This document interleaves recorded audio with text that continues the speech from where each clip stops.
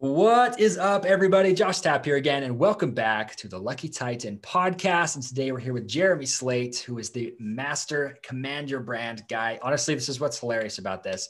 I've seen this guy's content forever, and when he's when he hit my calendar, I'm like, I know this guy. That very rarely happens, actually, funny enough. But uh, it was cool to have Jeremy come in. You know, he's the host of also it's the Create Your Own Life podcast, Top 100 podcast. This guy's been featured everywhere, so they know what it takes to show your brand to the world and like their t- their brand name is command your brand.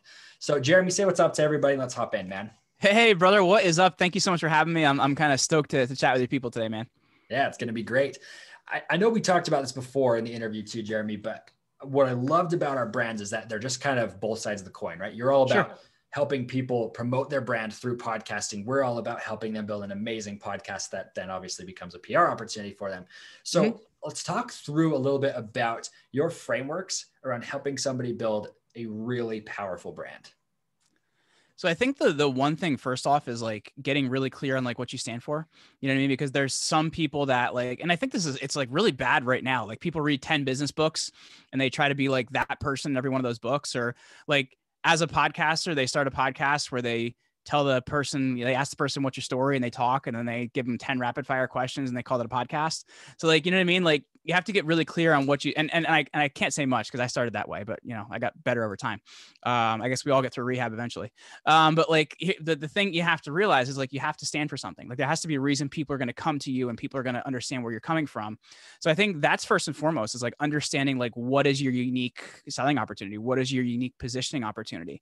And then the other thing too, that people don't consider and I think this is something we think of because like of being in the PR space is we like the people that are going to listen to you, who are their opinion leaders? Who do they listen to? Because each one of those people are going to want to be communicated to differently. Like, you know, Dave Ramsey's on one side, Suze Orman's on the other, and they do not agree. And the people that listen to that person are going to communicate very, very differently. You know what I mean? Just like somebody that likes Rachel Maddow isn't going to like the person that likes Rush Limbaugh. So like people are going to come from people from a very, very different angle. So we actually tell people like, you know, what are the people that your people listen to? And then we can kind of get to know more about them. Another thing is too, like, you know, if your brand was a rock song, what would it be? You know what I mean? Like these are things you have to think about because you really want to get that vibe down and get something that people can connect with and understand. So that's kind of really, really where you got to start, man. A lot of people don't do that work. Yeah, I think it's because people are like, I don't know what to put down, right? And, and it's it seems like this big daunting task. I've recently been interviewing a lot of people with SEO, yeah and I interviewed a lady just right before this one actually because I was doing back to back interviews. She uh, totally like changed my paradigm with with SEO because she simplified it and she obviously knew who she was promoting to. Like you said, mm-hmm. they, they, knew the brand. She's like, I'm not here to be this billion dollar SEO company. We're here Correct. to say, here's these three simple things you need to do. That's what you pay us for. Mm-hmm. And I loved that. So you're saying with the brand, it all has to do with that that groundwork of saying who are they following. It's really saying where is the market, right? Yeah hundred percent.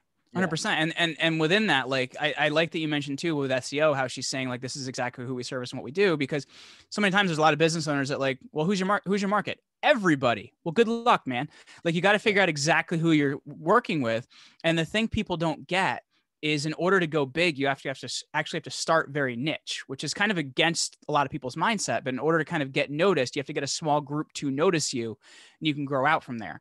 So I think it's really vital to take a look at it in that way because then, like, you understand how they think, you understand the questions they ask, you understand the things they need to hear, you understand their.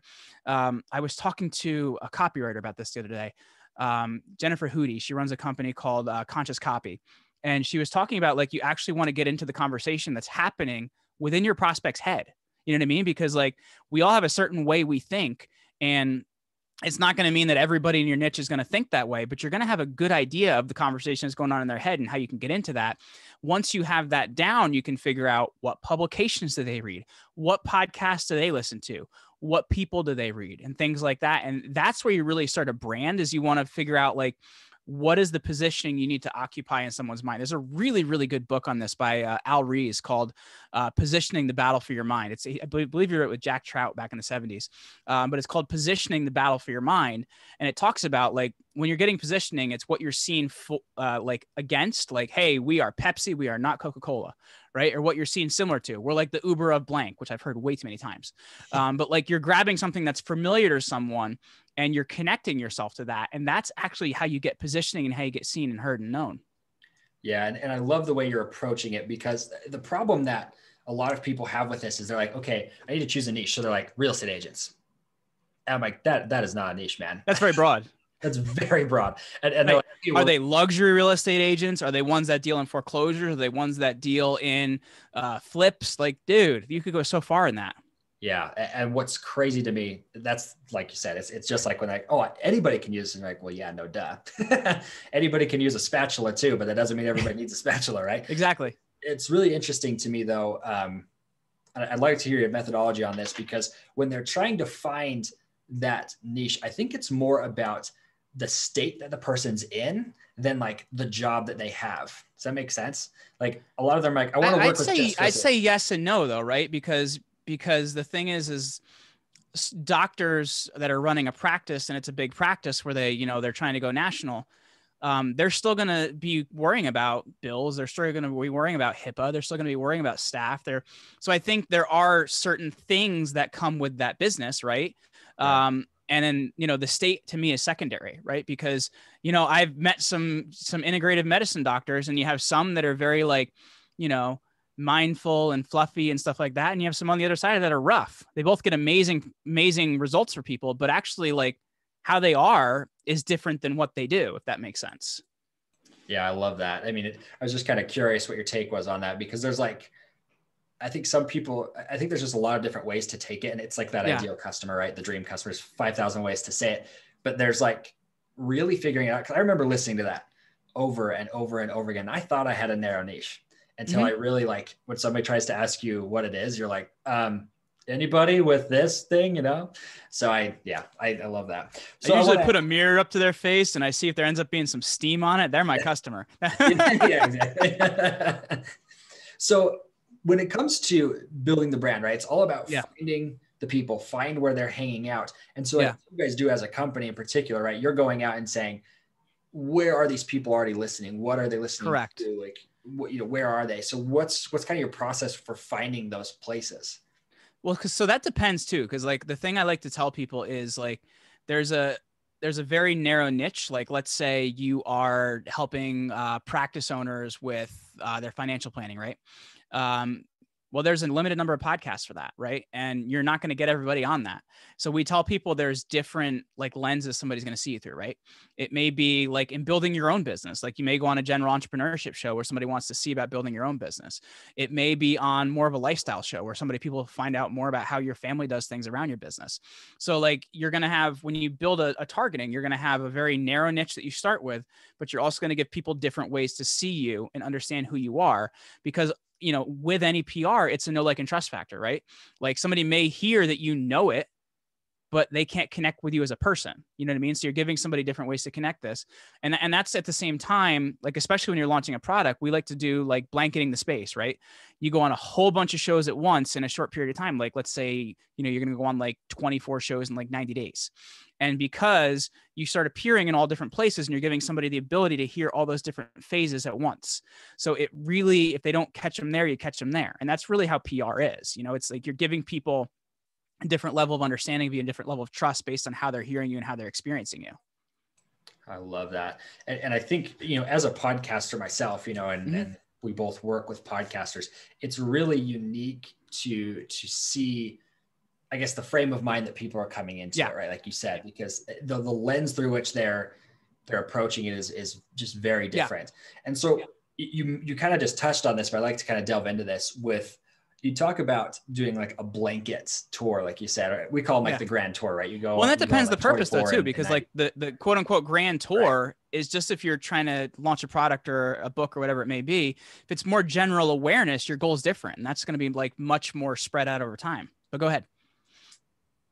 Yeah, no, that's that's a great point. And uh, for one of the things that most of the people that we work with when they're trying to get onto shows, it is more particularly mm-hmm. for a launch, and that's what we found to be kind of the better use of podcasts. Would you agree with that, or do you feel like it is okay to go and use as a so it, it depends right? Because like we've had we, we've done really well with book launches. Like we had a client that we helped them sell sell um you know somewhere between 4000 and 5000 books um, so he did really really well with that um, but then on the other side of it like we have um, a lot of doctors that we go on that aren't really launching anything right now um, but we've been able to get them on a lot of the right podcasts in their space like you know some of the larger ones in their space so that at the same time that creates more trust that creates uh, more visibility it creates a lot of other things so like um, we've seen both work but it's really important that the person knows their goal right? Your goal can't be general awareness, launch a book, sell my course, do this, do that. It's got to be a very narrow goal because how you operate and how you set everything up is going to be a little bit different as well. Yeah, I love that. You know, it's really unique to to see you know your take on that because uh, the, the problem that a lot of people have with going on to podcasts is it it's a quote unquote branding activity and there's mm-hmm. a lot of people don't think they can actually sell through them mm-hmm. and i'd love to see kind of how you guys are training your guests to go onto these shows and actually turn it into something that that generates revenue. Mm-hmm. Because I know for us, even like yeah. when I go on podcasts, sometimes I'm like, what a waste of time. well, because here's the thing, right? Like you, you, you, you understand first and foremost, this is a brand building thing, but like at the same time, you set up all the right things, right? So like we have a methodology when we're talking about going on a podcast where we call it story, message, call to action, right? Somebody's personal story that ties into the three to five key teachable things you're going to tell and then the call to actions they want to do at the end you get all those things together and then you actually give somebody something at the end of the podcast that is going to allow them to continue the relationship and it's usually something that's going to allow them to apply your message so, and you're going to find that you're going to have a small percentage of people that are going to take you up on that free offer and end up in your database so like you want to have that stuff set up. Now, it doesn't mean you're going to go on every show and it's just going to be a flood of leads. Like I, I went on EO Fire and we had, you know, a couple thousand people subscribe to our database. Now, that's not really our market, so we didn't really get a ton of business out of that, but it enhanced the credibility of my podcast and, you know, got us more growth and things like that.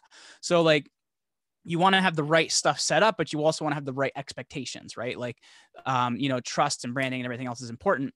But if you have the direct response marketing stuff set up, it's good as well. And then on, on top of that, I'm a little crazy with the technology side of things. So I also have people on that landing page they're sending people to. Um, I have them using an app called getemails.com because then it's an email retargeting software. Basically, if they don't opt in, they're going to add them to your email list and it's totally white hat and okay. Um, or we're doing retargeting ads of people that have been on that page. So you can, you know, raise your level of people that are opting into that page. So if you have these things set up, you're going to see that benefit, but at the same time, your greater vision is of branding. Yeah, and that's that's really a cool way to put it because the money does come, and and what's really funny uh, to me is a lot of people they're like, I'm either going to sell a five thousand, twenty thousand dollar thing, or uh, it's it's you know going to be free. It's just a branding activity, right? And a lot of people yeah. are kind of skipping over this well, why don't you just get them into your world? Like continue the relationship. And, and in our opinion, and, and, that's where people are short sighted, right? Like they, right. they, they get in a podcast and they wait for the leads to shower all over them. And that's just, that's just not how it is, man. It's building right. a relationship. It's getting people in there. It's making sure you're relevant. So they're hearing you in more places. And eventually maybe they come and work with you or they tell somebody else to come work with you. Like we've gotten great referrals from people that I've never met that have heard me on a podcast. Like, Hey, you got to check this guy out. So like, you got to think about that too. Like you're, and, and it also at the same time, like a lot of it is how the person shows up, right? Like we've had several, we, we've, I, am thinking in my head of uh, two clients that were on the same podcast, and one made fifty thousand dollars from the podcast. The other one said it sucked. So like part of it is also how you show up, and we can do the best to prepare you for that and coach you through it. But you have to show up in abundance and, and willing to serve too. Yeah, and, and I love that. I mean, there's it's so funny to watch. Um, I guess kind of like people's approach to the branding, right? Because they're yeah. they're getting I think people overcomplicate it. You know, branding is really yeah. very simple. And I want to talk a little bit with you about kind of the campaign strategy for you guys and, and how you're promoting because you're not just saying go on podcasts, you're helping them get into publications and do all these other things. Um, with the context of this being a launch, right? They're launching mm-hmm. a product or a service or something, a book. For most right. people, it's a book, right? When you're doing these promotional launches, like what does a campaign typically look like? So it's going to be more shows in a shorter period of time. Um, and it also depends on like how invested you are, right? Like, like honestly, like our best clients have paid for more shows rather than less. Like we had a client that in uh, think it was 90 days, and my team hated me for this too because it's a lot of work. But in 90 days, we put him on 52 shows or something like that, and that was the one that sold 5,000 books. We had another person that you know did a launch, and I really was trying to talk them into doing more shows, so they didn't see what they want to do because they're like, oh, well, I'll do 12 shows in six months. It's like, well, it's really not enough because you need to match up the momentum with what you're doing, and you're going to see that you're going to build momentum, right? Because it kind of goes back to what I was talking about with blanketing the space. You're, you're going to start being seen and heard in a lot of the same places. And, you know, it's number of times over equals somebody taking action on something. I think it's like they say the average person has to see a message like eight times before they take action on it. That doesn't mean they need to hear you on eight different podcasts, but the point is you want to increase your frequency of people hearing you. And when you have these retargeting ads and stuff like that set up, you're also increasing your frequency of people hearing you and seeing you. So to me, it's the more shows you can do in a shorter period of time, but you also need to understand there's ramp up time, man. Like, you know, when people get started with us, they don't appear in their first podcast for like 30, 45 days or something like that because there's a lot of upfront work. So, like, if you're like, all right, I'm going to launch a book next month and you're trying to start now, like, you are way too late in your campaign. So, you need to be thinking with, you know, we're going to be running a campaign 90 days from now and I want to have everything in alignment because at the same time, like, let's say you're thinking of a campaign now like different hosts record at different times, different hosts release at different times. So like you need to be thinking as far ahead as you can so you can line stuff up in a similar date area too. Yeah, and, and that what a great point. I mean, honestly, I hope people understand what he's talking about. He's saying, you know, the blanket, right? Because right. What, what people don't understand is that if they hear you on John Lee Dumas's podcast, you have instant credibility, right? Or if they hear you on a podcast that they're like, "Well, I like the show," you know, it's it's a it's a top 50 it's like mine right? Like it's like a top 50 podcast but it's it's not jld show right?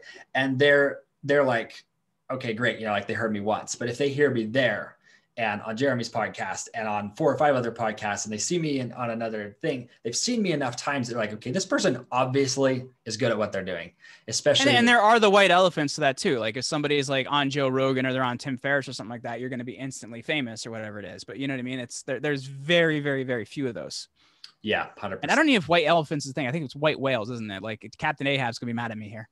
yeah, he's like I was hunting elephants. um, yeah, so I mean, it's it's good stuff. So I mean, and I love that you're covering that point because there's when people are trying to do campaigns, and this is what's hilarious to me, and it's frustrating in being in the branding yeah. space. They'll do like one podcast or two podcasts. Let's even say they do 20 podcasts over a year and a half. Like mm-hmm. that sucked. I was stupid. I'm not doing it again. And I would even flip it on the other side of the coin where they're like, they do 20 episodes as the podcast does, and then they give up. And podfading. Yeah, pot fading. Yeah. Like, oh. dude, when you're starting a podcast, you need to be willing to be in it for a year. Like, honestly, be yeah. willing to be in this for a year and don't expect to see most more, you know, much visibility before your first six months. Like, if you're going to start a show, dude, you got to be in it for the long haul. Yeah. Well, and yeah, I mean, our whole strategy is like, monetize it beforehand. So whether you're getting listeners or not, you're doing great, right? It's it's a branding activity, but monetize it. Um, so I, I love that you're covering that point because there's a lot of um, I think just a headache around branding that people are like, well, it's just, it's hard to track. It's not, you know, it's it's really hard to say this is how much I made off of this campaign. Yeah. How do you typically work with that? Because I know you're a very numbers driven company. Well, I think first it's like the confusion people have there, right? Like people look at PR and marketing and they think they're the same thing. And then uh, the thing that always bothers me is when is when people try to say, "Oh, uh, PR is under marketing." No, no, they're not. Like PR and marketing accomplish different things in your business. Like I, I, like to say PR creates the trust and the pieces that marketing can use, right? Like, and that, that's what you have to really look at. Like, you're on a podcast, so now you can market it. Um, like, you know, we had somebody that was on a podcast, and we also teach people like what to do with episodes. So, like, we had somebody remarket it to their list and then close a ten thousand dollar package from remarketing to their own list to somebody that had been hearing them for two years, but just needed to hear that interview. So, I, I think at the same time, it's a confusion of terms. So, it, we we really work hard and clearing up that point of like what does PR do, what does marketing do, and we teach people what they need to do, but we also make sure we're working with companies that have a marketing department, right? Because if if if we're not working with people that aren't going to market these pieces, they're probably not the right client for us. Because I, you and I were talking about before we recorded here, like if you're expecting a PR campaign to save your business, there's probably more wrong that I can't fix, and neither of us are going to be happy in the end. Yeah, because it's it's not meant to be the the bucket that bails you out, right? right. No, it's it's a growth thing. Like I can't fix structural problems. I can't fix like if your salespeople can't close. But what I can do is I can create more trust. So when you know like leads see things, you know you're going to have higher quality leads. I can you know give you pieces that you're going to remarket so you can grow your fan base more. But like you, you have to understand that you have to have a lot of the basics in place to be able to take full advantage of a good PR campaign. Yeah, and, and that's I hope people are listening to that because that is absolute gold. I know you even you just said it in passing, but it's like the PR creates the pieces that you use in your marketing. Correct. And people are so just not focused on that, right? Yeah. Because they're, they're they're searching for the wrong thing with the. So I, I because what I like to say is like um like people are playing this a, a lot of business owners are playing the game of hungry hungry hippos right they're like you know dollars and leads dollars and leads dollars and leads a couple sales dollars and leads a couple sales. And what they're realizing if they don't have a good pr campaign you're going to be playing hungry hungry hippos forever right? Because it's the same reason that a doctor in a small town can charge more can be open less time and make more money than all the other ones because he's on the right tv shows he's on the right podcasts he's in the right places he's a celebrity. And i think that's the difference Yeah, what a good point. So I want to ask you this question to directly relate it to you and how you're growing your company as Yeah. well, because obviously you're using it in your own business. Otherwise, you know, it's kind of sad when you can't promote you can't use your own stuff when you're in a B2B services space, right? So um, if you had to like start completely from scratch again, Mhm. what type of business would you build? And then how would you build it like in 90 days? Because I know we've been talking 90 days as a launch. How would you do it in 90 days to build a livable income for your family? Woo. Okay, that's really tough because this business took a lot more than 90 days to build. Um, so I don't know that I would start this because it took me six months not even making any money. Um, so honestly, um, you're probably gonna like this, but I would do what you said of figuring out how to monetize it before I started. Cause like my podcast had 10,000 listens in its first 30 days. So I would figure out how to line it up because I know how to get in front of people. Um, I would figure out, you know, what affiliate partners I'm going to work with, what products and services align with what I do, and I would get that ready to go and launch a podcast. That's honestly what I do because that's what I did the first time, and it worked very well. I like to Uh, ask that question because I think it does pull out like with with a 90 day restriction, you're like, Yeah. I do things totally different. Oh, I well, it, it- as I said, like you know, this I was eating ramen for six months when I started this business five years ago. You know, Yeah, no, I, and I know how it goes. it's, it's feast or famine with business for like the first two years you're in it. Yeah. Even when you make, I was. I was talking to my dad about that the other day because my dad's like he's he's you know GED guy. He's always worked like at this. You know, he's started in the factory and he's worked his way up into management, but he doesn't really have any education background or run a business. It's like I'm explaining to him like how much money I made three years ago, what I made last year, what I made this year. And he's like, "Oh wow, this year was it sounded really good." I'm like, "Yeah, but those, those first two years, Dad. Like, uh, that's why I needed all that money the, the first year that I paid you back." Love that. Well, and and you know, I, we're coming up to the end of the interview here already. Yeah. But I mean, when it comes to to branding and, and what you're talking about, you're like, I'd figure out how to monetize a podcast. So I, Yeah. thank you. I love that you plugged that first off. But it's it's the truth though, man. Because if you Yeah. do it the right way, it's the easiest way to do it. Because you just have people on that sell products and services that your audience would buy, and you get a pretty handsome commission off of a high rate product. You're sitting pretty pretty quickly. Right. Love that. And, what's so funny too is is I think you know your model is all about choose a high ticket service where you can get high exposure because Mhm. that creates a lasting brand. And that's why I wanted to hear your take on it because a lot of people are like, if I had a 90 day restriction, it would just be a business that could provide me cash so I could start what I really wanted to do. Mhm. But you're saying lay the foundation for something that Yeah. creates a lasting brand. So I love that. Correct. Well, you know, we've covered a lot of topics, Jeremy. So I want to ask you this. Where can people connect with you first off? Yeah. Well, we talked a lot about PR and market and and branding today, and you know, like as I've mentioned, like there's so much information we covered today that I didn't really know in the beginning, and I don't like people to make, make those same mistakes. So I created an awesome uh, free piece for your audience called the seven P uh, seven reasons you're not appearing on your favorite podcasts, and they can actually grab that by going over to commandyourbrand.com slash seven reasons, and the word seven to the number seven will work for that. Um, and you know whether they want to work with us in the future or not, it's just something I think everybody should know.